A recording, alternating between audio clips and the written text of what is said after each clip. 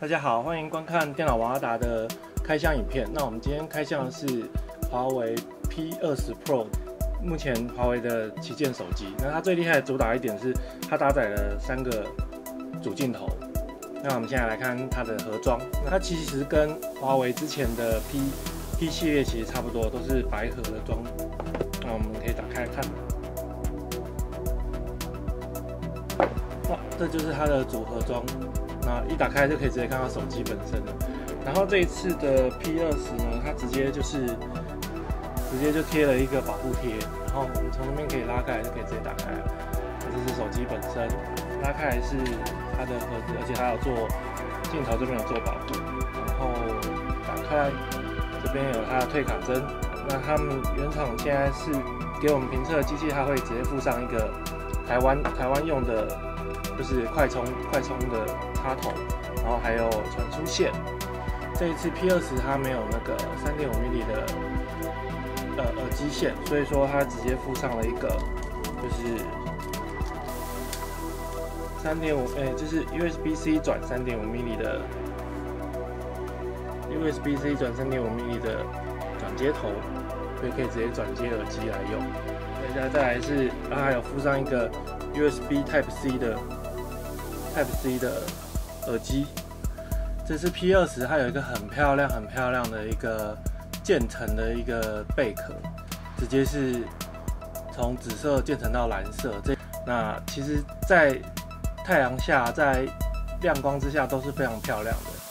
我们可以看到上面有一些提示哦，就是像是线卡要从这边拔起来啊之类的。然后这边有 NFC，然后还有。它的那个 SIM 卡槽是在这一个位置，这边三颗主镜头的配置就在这里了，然后还可以看到徕卡的标志这样。OK，那我们接下来把它直接撕开哦。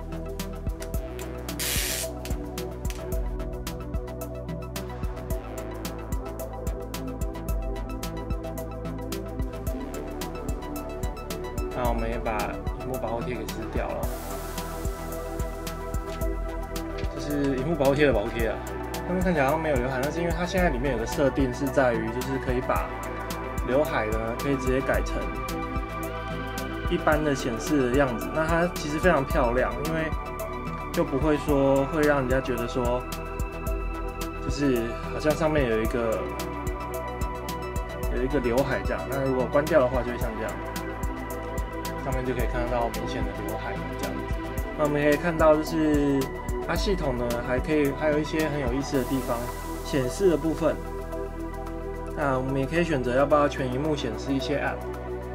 然后还有一个是导航列，因为现在你可以看到我现在把这个导航列隐藏起来，我觉得就是尽量最大空间使用这个荧幕嘛。导航的话还有另外一个设定，就是说我们可以选择关闭导航列，就像现在这样，或者是荧幕内建导航列。这里有个特殊功能在，就是直接用这个来控制。那你可以左滑右滑启动，然后单按是前前一步这样子，单按是跳出，其实就跟这个指纹的感应列的之后的，就是你如果关闭的话的用法是一样的。那这打开这个的话，就是虚拟导航列，就是跟原本的 Android 的那个虚拟导航列的状况一样，然后你也可以选择隐藏。那如果往上刷的话，就会把它再叫出来。悬浮这个也是之前就有的功能。可以打开，它就多个悬浮导航的功能，还会说明说要怎么使用。那我自己是习惯就是直接把它全部都关掉，全部关掉。啊，按一次就是双按。那我也可以试一下，就是它的解解锁速度有多快，也是蛮快的。我现在放下去就开了，放下去就开了。这一次华为也有人脸辨识，那我可以试一下人脸辨识。然后我现在人脸都在摄影机这边，所以我直接。抬起来，它现在有也有抬起来的那个辨识，拿起手机它就会点亮荧幕了。那我现在拿起来，它就会点亮，然后开始辨识我的脸，其实很快。